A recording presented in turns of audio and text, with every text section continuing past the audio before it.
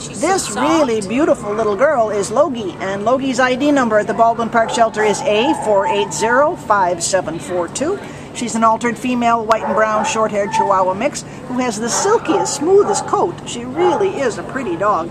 She's about two years old, and she came to the shelter as an owner surrender on March 5th because their landlord objected uh, to them having a dog. So here she is, uh, back with us, and needs uh, help in hand. Needs, but boy, she is so pretty, isn't she? I mean, Chihuahuas are all lovely, but this one is just, she's very photogenic. she's got this beautiful uh, coat. She's great with other dogs. It's just a tail wagging little girl with uh, meeting other dogs, and she's okay on a leash. She only weighs seven pounds, so she's a real good little size for an apartment or anything like that. She's going to be a. Oh, look at that little lip curl. That's funny. she's so cute. What else can you tell us, Lydia?